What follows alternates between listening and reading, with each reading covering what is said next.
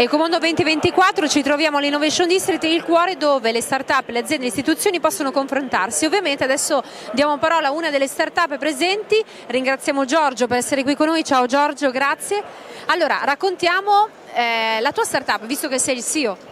Sì, ecco, la, nostra, la mia startup nasce con l'idea di lavorare nel mondo del, dell'economia circolare, della sostenibilità e per questo è diventata una vocazione, per cui aiutiamo le aziende a diventare sempre più sostenibili, andiamo a recuperare eh, il waste eh, e quindi cerchiamo di riciclarlo all'interno dell'azienda o valorizzare i, diciamo, il, il, quel che è un rifiuto ma eh, oltre a questo eh, a interveni interveniamo anche sul loro processo produttivo, per cui lo rendiamo più sostenibile e addirittura in molti casi eh, andiamo a produrre dei nuovi prodotti da mettere sul mercato sempre con l'idea della maggiore sostenibilità ed economia circolare e questo eh, ci ha permesso di, eh, anche di presentare molti brevetti e ottenere molti brevetti. Cosa significa per te essere presente a Ecomondo?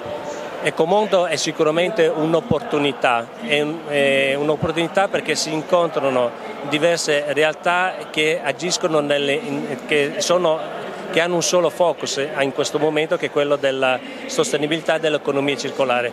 Per cui è un incontro multidisciplinare perché ci sono tante entità di diversi settori che si incontrano per uno scopo comune, quindi diciamo che arricchisce arricchisce tutti. Certo, per unire le forze. Allora Giorgio, che Ecomondo vi possa portare fortuna per crescere sempre di più e soprattutto godetevi questa manifestazione. Buona Ecomondo, grazie Giorgio. Grazie a voi per eh, l'intervista.